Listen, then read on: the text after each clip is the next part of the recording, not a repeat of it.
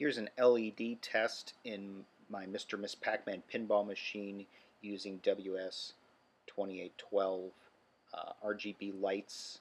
Um, seems to look pretty good. I was hoping it was bright enough, and it definitely is. Here's the hardware I have underneath the play field. It's just eight of the uh, WS2812 hooked up to an Arduino running just uh, fixed colored lights that are flashing. Next step was to uh, make a bigger version that's on a prototyping board with the 25 LEDs and this time I programmed it to do the attract mode on the pinball machine. It looks pretty good. I mounted the uh, prototyping board underneath the play field and you can see the uh, Arduino sitting in there and just running off 5 volts uh, running attract mode from the underside. And a peek from the top side uh, looks pretty good. Um, the Y's a little bit wrong, but that's okay. Um, but it looks pretty bright, and uh, next step is to move on with electronics.